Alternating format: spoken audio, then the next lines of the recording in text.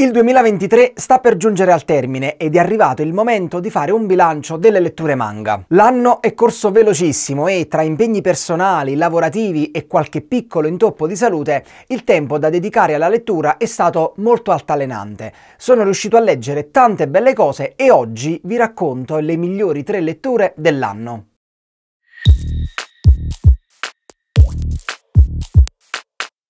Amici lettori, bentrovati su questo canale Leggo Dunque Sono. Io sono Luigi Pio e se mai ci fosse qualcuno tra voi nuovo da queste parti, sappiate che potete aiutarmi iscrivendovi al canale. Detto questo, non perdiamoci in chiacchiere e partiamo. Posizione numero 3. La terza posizione della mia personale classifica manga del 2023 spetta di diritto a un manga che vi racconterò meglio nelle prossime settimane, in una recensione più accurata di quanto possa fare in questo video. Un manga semplice ma cavalleresco, dal tratto leggero e dai temi profondi.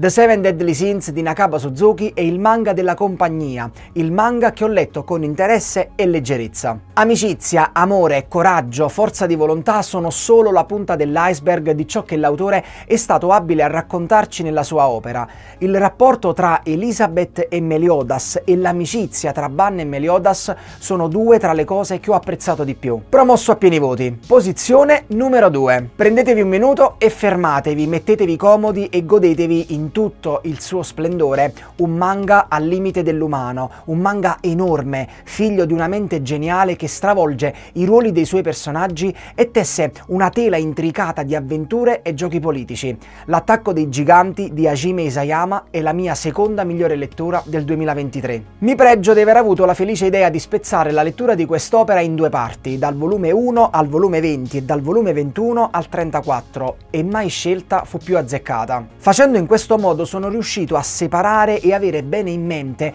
un prima e un dopo nel comportamento di Eren, un protagonista atipico che solo il genio di Isayama poteva rendere così feroce ai limiti della follia con un intento che proprio da protagonista non è. Scontri fuori da ogni logica, intrighi sottili ma potenti e concetto di moralità da rivedere per molti personaggi sono gli elementi che di più mi hanno colpito. Se ancora non siete riusciti a leggerlo vi prego fatelo e godete di un'opera spaziale che personalmente considero una delle migliori degli ultimi dieci anni. Posizione numero 1. Eh sì, in posizione numero 1 si colloca il manga che ho divorato con una ferocia inaudita e con una voglia di saperne di più impressionante. Da musicista non potevo non desiderare di leggere opera migliore di Blue Giant, il capolavoro di Shinichi Ishizuka, portato per la prima volta in Italia da J-pop. Chiunque si sia mai avvicinato allo studio di un qualsiasi strumento sa benissimo delle difficoltà che si incontrano e della frustrazione che si può provare laddove non si riesca a raggiungere il risultato sperato. Ishizuka è stato perfetto nel raccontare questi aspetti attraverso le pagine del manga,